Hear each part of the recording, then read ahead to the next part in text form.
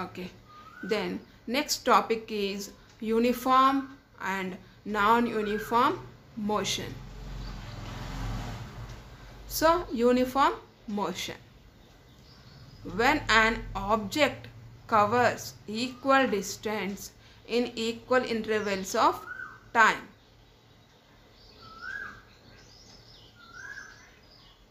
So if you look into this picture, a boy is completing the starting and ending point with the same distance and same timing. Means for every 5 meters he is taking 1 second.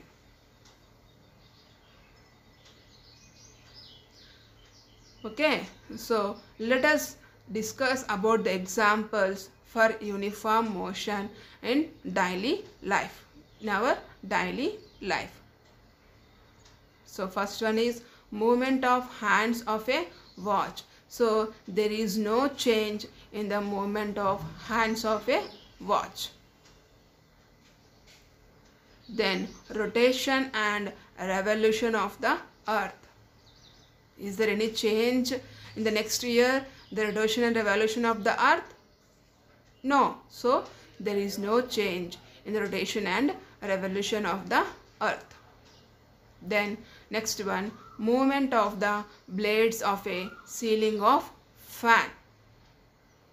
Always the blades of a ceiling fan is rotating in a circular motion only. Is it? Yes. Next one is a vibrating spring in a sieving machine. So in a sieving machine the spring is vibrating in an oscillatory motion. It doesn't change. If it changes, the cloth has not stitched. So these are the examples for uniform motion. Next one is non-uniform motion. When an object covers unequal distances in equal intervals of time so there is a change in the distance okay students see the same boy is traveling from starting position to ending position with different distances but timing is same. So for first second it, he he is covering the speed 5 meters. And for next one second he is covering the distance 7 meters. And for another second he is covering the distance 6 meters. So there is a change in the distance not in the time. So this is called non-uniform motion. So examples for non-uniform motion in our daily life are the motion of a car or bus in a city traffic. If you observe the traffic, there is so much of traffic is there nowadays so here we can't go in this traffic in a uniform motion. So we have to uh, speed the we have to increase the speed or decrease the speed. Then next one walking in a crowded street.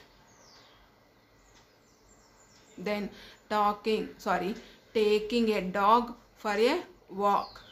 Taking a dog for a walk. So the dog has not has not go in a uniform motion okay a bus on a hilly track if you go to tirupati there is no non if you go to tirupati there is no non-uniform motion because you have to you have to go onto the hill track next a bouncing ball a horse running these are the examples for non-uniform motion. Okay students. Next the topic is we have to discuss one activity. Okay. So the activity is observing the motion of a ball on an inclined plane. So here I have taken one ball and I am releasing that ball in an inclined plane. If you look into this picture, you can notice that from for time t 0 seconds the ball is started. And for time t sec 1 second the ball has taken some distance. And for 2 seconds the ball has taken different distance means the distance here changing but the direction is not changed but the direction is not changed if you look into the another picture here I am throwing a ball in the upward direction. Here also the same distances are mentioned but the direction is not changed. So in the above two figures if you observe that what happens? Speed changes. So here from 0 seconds to 2 seconds speed gradually decreases because earth gravitational force has attracting the ball. But the direction of motion is not changed means remains constant. So from the figures what we have observed that speed changes but the direction of motion is not changed. They remains constant in both figures okay students. Now let us discuss one more activity that is uniform circular motion. In a here you have noticed that one boy is drilling a stone to the end of a string. And he is rotating the stone in a circular motion by using the string. If you look into this picture you can see that uh, the stone is moving in a circular motion. Okay in the next picture you can see that the directions means the velocities or changes for every instant of time. So now i am asking questions to you by observing the picture. Okay students. Okay so what is the path of the stone? The path of the stone is circle in motion. So here if you look into this picture see here the path of the stone is circle. Means it is rotating in a circular motion. Okay? Then is the velocity changes at every instant of time see here in the picture if you look into the second picture here the directions the velo means the velocities are changing in at every instant of time. So answer so answer is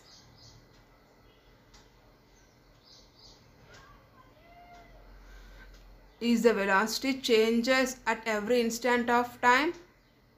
Yes. There is a change in velocity. Then what about speed speed is constant because speed does not change. Uh, he, the boy is rolling a stone continuously with the same speed. But here the direction is changing. So from the above discussion it is clear that speed remains constant but, but its velocity changes means direction changes.